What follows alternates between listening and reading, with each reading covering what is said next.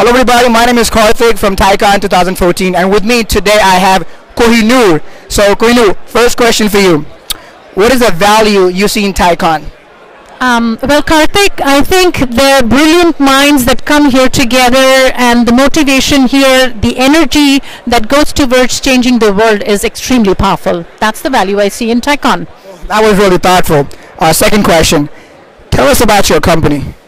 I'm from Foundation for Excellence, FFE, and that is a non-profit that's been uh, doing good work for the last 20 years. What we do is uh, fund scholarships for kids who are underprivileged and extremely brilliant and put them through medical and engineering schools. And in that essence, we cut the cycle of poverty forever and nurture generations to come.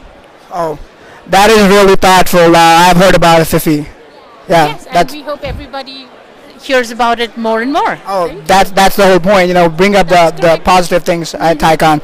So uh, thank you, thank you for coming here. It was a pleasure talking to you. Pleasure talking to you too. Thanks for the opportunity, Kartik.